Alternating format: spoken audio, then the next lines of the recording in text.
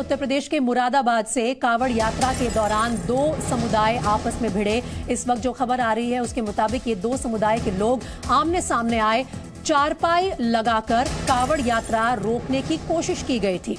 Police ने मौके पर पहुंचकर मामला शांत कराया है लेकिन ये कुछ तस्वीरें आई हैं मुरादाबाद से उत्तर प्रदेश की जहाँ पर कावड़ यात्रा के दौरान दो समुदाय आमने सामने आ गए और बताया ये जा रहा है कि कावड़ लेकर जो यात्री आ रहे थे जो तीर्थ यात्री वापस आ रहे थे उनकी आ, उनका रास्ता रोकने की कोशिश की गई थी। इस आ, इस घटना के बारे में क्या जानकारी है पूरी खबर दे रहे हैं मयूर जो हमारे साथ लाइव जुड़े हुए हैं। मयूर क्या जानकारी मिल रही है? यहाँ पे हुआ क्या आखिर?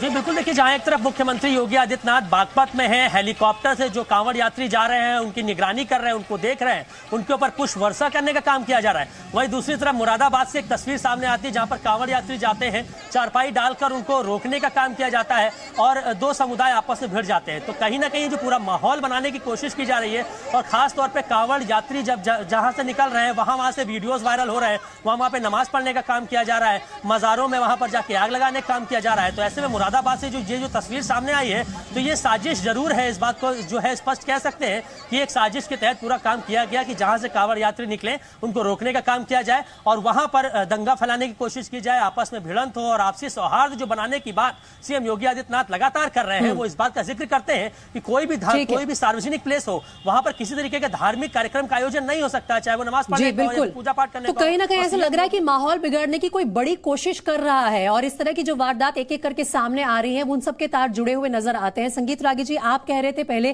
कि इसके पीछे इंटरनेशनल फंडिंग भी हो सकती है लेकिन इस वक्त देश में देखिए तीज का त्योहारों का मौसम शुरू हो रहा है। उस दौरान ऐसी हरकतें एक के बाद एक होना यह भी दिखाता है कि आ, कोई है ऐसा जो इस साजिश में जुटा हुआ है कि हमारे देश में दो समुदाय के बीच एकता ना रहे तो उनका भला होगा। देखिए दोनों मामले अलग अलग हैं। जो मॉल के अंदर है वो मामला अलग बनता है। उसकी प्रकृति अलग है। पब्लिक स्पेस पर यदि जाकर के आप नमाज़ पढ़ते हैं तो जान बूझ करके आप एक टकराव की स्थिति पैदा करते हैं। कल जाकर लोग हनुमान चालीसा पाठ करेगा सत्यनारायण व्रत की कथा शुरू करेगा जय संतोषी माँ की कथा। हिंदुओं के लिए तो प्रतिदिन त्यौहार ही त्यौहार है उत्सव ही उत्सव है। हम्म। हर दिन एक पर्व से जुड़ा हुआ है कुछ न कुछ ऐसी चीज़ें होती रहेंगी। तो मुझे लगता है कि जो लोग इस प्रकार का प्रयास कर रहे हैं कि हम रेलवे स्टेशन पर नमाज़ पढ़ेंगे हम मॉल में जा कर के नमाज़ पढ़ेंगे हम स्कूलों के अंदर जा कर के नमाज़ पढ़ना शुरू कर दें। विश्वविद्यालय के का जो क्षेत्र है उसमें जा कर के ये करें।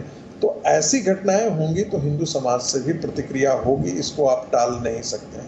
तो आप कह रहे हैं कि उकसाने की भी कहीं ना कहीं कोशिश होती है। अली कादरी जी आ, आपके आपके क्या विचार है उस पर? क्योंकि मेरे पास समय थोड़ा कम है। संगीत रागी जी बस थोड़ा सा समय कम है। मैं तीस सेकंड ही दे पाऊँगी अली कादरी साहब को भी। आ, ये जो एक के बाद एक नमाज़ पढ़ने के वीडियो आ रहे हैं मॉल से क्या एक दूसरे समुदाय को उकसाने की भी कोशिश हो रही है? क्योंकि फिर प्रतिक्रिया सामने से आती है। जैसे कि आज आई हनुमान चालीसा का पाठ भी किया गया मॉल में। देखिए मैडम, मैं नहीं समझता कि जो है ये किसी किस्म का किसी को उकसाने वाली बात है, क्योंकि हमारे पास नमाज़ का वक्त, हर नमाज़ का वक्त एक महदूद होता है, एक टाइम लिमिट्स होते हैं। अगर कोई नमाज़ पढ़ लेता है तो उसको विरोध करके हनुमान चालीसा पढ़ना या किसी और चीज़ का पाठ करना मैंने समझता ये वो है। हमारे भारत की तो सभ्यता रही कि जब कोई मुसलमान नमाज़ पढ़ा तो हमारा हिंदू भाई उसको चादर दिया। लेकिन आज जो माहौल बिगाड़ने की जो कोशिश की जा रही है ये सब सब लोगों के लिए चिंताजनक बात है। हम्म। अगर कोई एक मुस्लिम भाई नमाज़ पढ़ रहा है तो हिंदू भाई उसकी सपोर्ट करे। अगर कोई हिंदू भाई नमाज़ अदा करने के लिए तो एक एक एक जगह होती है और उस जगह पर जाकर अगर आप समय से नमाज़ अदा करते हैं तो इसको कोई भी ऑब्जेक्ट नहीं करता है। दिक्कत यह आ रही है कि सार्वजनिक स्थान पर जाकर आ, ऐसा लगता है कि नमाज़ पढ़ी जाती है और फिर उसका वीडियो भी जानबूझकर ही वायरल किया जाता है। आप दोनों का बहुत शुक्रिया। संगीत रागी साहब अली कादरी साहब और मयूर शुक्ला लगातार जो उत्तर प्रदेश से अपडेट आ रही है हम तक पहुंचाते रहेंगे।